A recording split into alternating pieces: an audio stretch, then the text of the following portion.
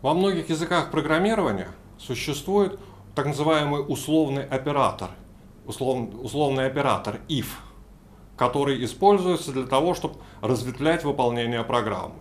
При наступлении некоторого условия а, выполняется один блок кода, а если это условие не наступает, выполняется другой блок кода. Ну, либо выполняется только один блок кода.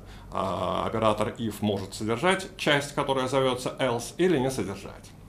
В Haskell существует условное выражение, которое э, синтаксически близко к условному оператору. Давайте рассмотрим работу условного выражения на некотором примере. Ну вот на экране набрано условное выражение, она содержит, э, начинается со слов if, дальше идет логическое условие, после этого конструкция then и некоторое значение, после этого э, ключевое слово else и некоторое другое значение. Э, это выражение содержит неизвестную переменную x, но мы можем оформить это в виде некоторой функции. Э, напишем let, указав GHCI, что мы собираемся определять функцию. Дальше пишем f, э, имя этой функции, переменную x как параметр этой функции. И, наконец, то выражение, которое у нас было, используем в качестве тела этой функции.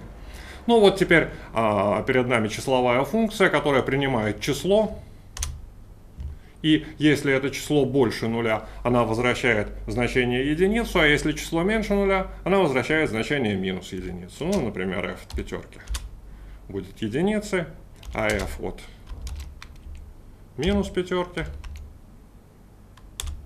будет минус единицей.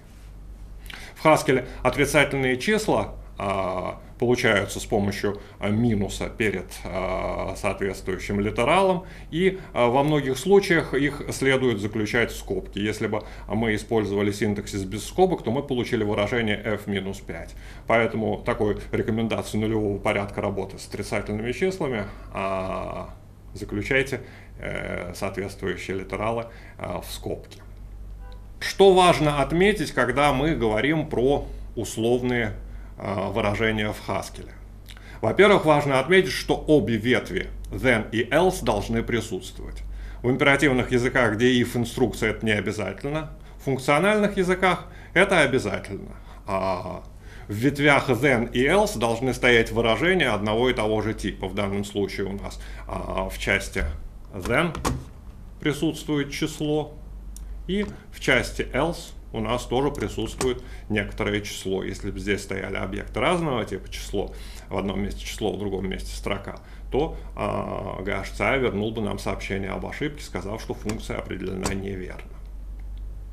А, вторым важным свойством условного выражения служит тот факт, что условное выражение представляет собой настоящее полноценное выражение. А, а это означает, что мы можем использовать это выражение а, в построении более сложных выражений. Например, давайте определим еще одну функцию g. И определим ее следующим образом. Возьмем наше условное выражение без изменений, как оно есть. И теперь мы можем, скажем, прибавить к нему значение 3. То есть мы используем конструкцию if then else для конструирования, для конструирования большего выражения.